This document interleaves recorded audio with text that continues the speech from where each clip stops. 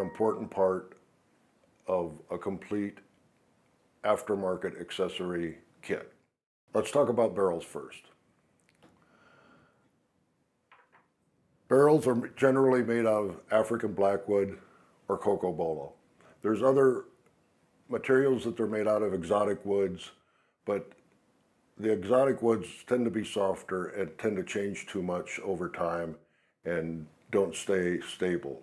Most clarinet players use the blackwood barrel, though I believe that every clarinet player should have a blackwood and a cocobolo in their case.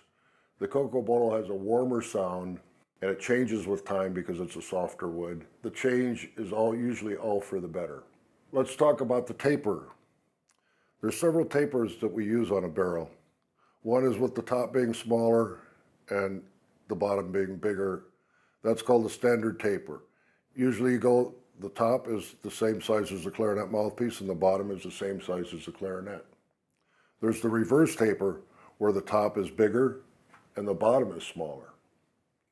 There's also the double taper where it tapers from the top to the middle and then back out to the bottom. And, it, and the largest part could be either on the top or the bottom. It's also possible to go inside and cut different parts inside the barrel to fix certain tessituras or certain particular notes on the clarinet. So you can actually tune the clarinet with your barrel. So if you have a clarinet that's not playing quite in tune, try an aftermarket barrel and sit with the barrel maker and see if you just can't make it better. The outside shape is also important. These are the first two barrels that uh, my partner and I ever made. And as you can see, they're quite different in shape. Our later shapes have been more like this.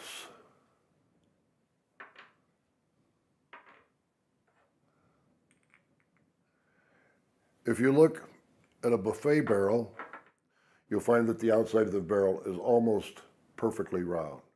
What we've found is that where the weight is in the barrel really affects the sound and the intonation and the feel of the barrel.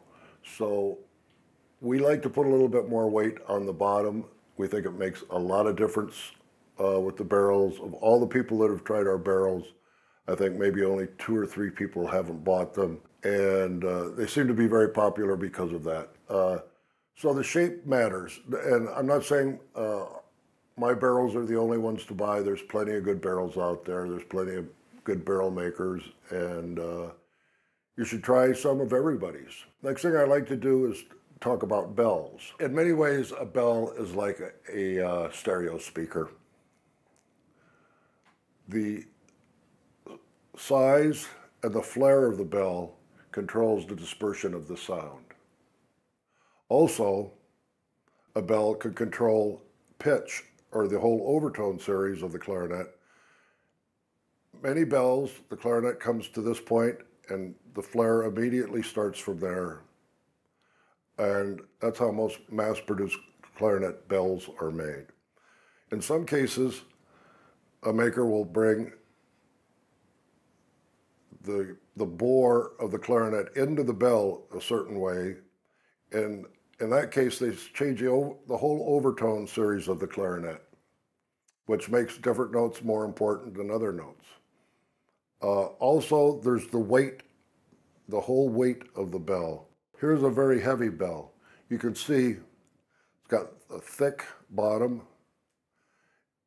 it's got a thick middle, and it's got a thick top.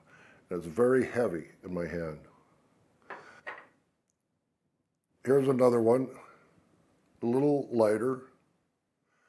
I can feel it in my hand. And here's the one I use. It's very light.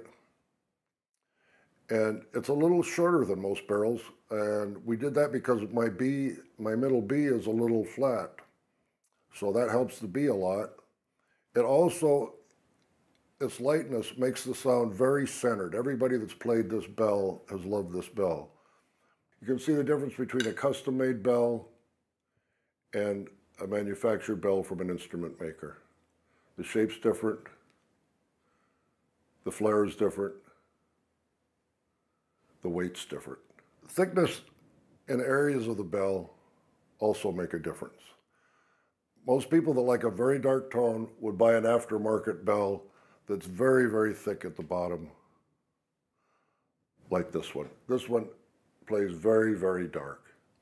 And many players like that dark sound. This one plays very, very centered. Not bright, but centered, and the sound really shoots out on this. Usually with a darker barrel, the uh, because the way the overtones are muffled, uh, the sound won't travel quite as far, but uh, it's a preferred sound for many people. You also want to consider with barrels and bells, when you purchase them, what your purpose is in playing. Are you, are you playing in a symphony hall where it's fairly reverberant? Are you playing in a pit where it's all carpeted? Are you playing in a studio where you play for the microphone? Are you playing for a, a live situation? That's also going to help determine what kind of a barrel and bell you buy. So I hope I've just opened your eyes to the importance of these aftermarket products.